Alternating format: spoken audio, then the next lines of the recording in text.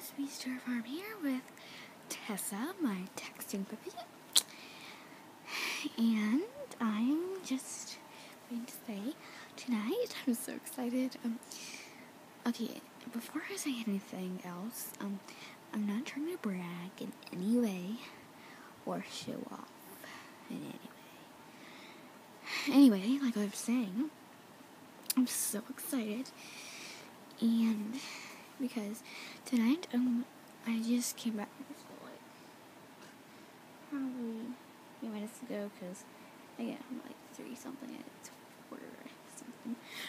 So I'm sorry I'm not good with time. Okay.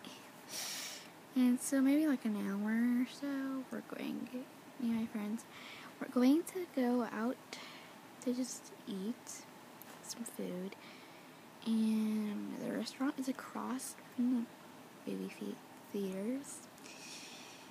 And like at seven, the movie starts, and the movie that we're going to see is. I'm so excited! I can't even say it. Okay, just drum roll for it, please. The new One Direction movie, This Is Us can't wait to see it. I'm so excited. So yeah, guys, and make a video after I see the movie, and it'll be a review. But if I don't, sorry guys, because it might be a little late. I never know, because I don't know how long this movie is. So if I don't, I'll just do a review.